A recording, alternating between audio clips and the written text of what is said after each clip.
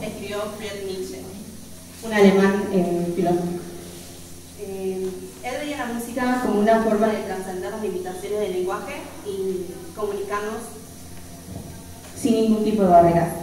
En un ensayo de la revista Free Sociology, eh, Jerry Gustavo, un músico catedrático de la Universidad de Oxford, defendía que la música era tan primitiva que existía antes del lenguaje.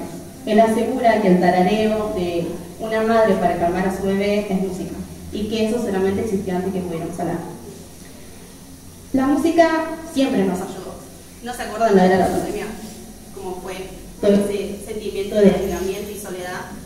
Bueno, ¿qué pasó? Eh, la gente salía a cantar a los balcones, se escuchaban música a todo volumen, eh, pasaban videos online con remix, con DJs. Fue un momento donde la soledad no estuvo porque tuvimos la música para nosotros. La música es una herramienta para los que imagines.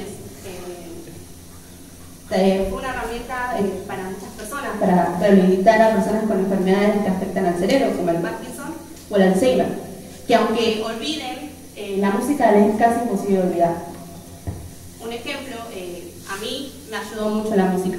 Yo entrando a la adolescencia me vi afectada con muchos adolescentes hoy en día, que es el mundo de la belleza. Solamente muchos se van a sentir identificados porque solamente con la adolescencia se fijaron estos los estereotipos, que son absurdos, que digamos la verdad, son muy absurdos, pero esa nena de 13 años no entendía lo que pasaba. Pero su única salvación fue la música. es mi única salvación. Eh, es impresionante como esos ritmos repetitivos que nos conectan con nuestros sentimientos y sin sentirnos vulnerables. Y se están preguntando, ¿cómo sirve la música para hacer todo eso? ¿Cómo, es posible? Bueno, la música en sirve palabras es terapia. Eh, la música eh, hace que tu cuerpo, tu cerebro lo estimula y ahí produce dopamina, la encargada de la, del placer y la relajación. Platón citaba que la música era para el alma lo que la gimnasia para el cuerpo.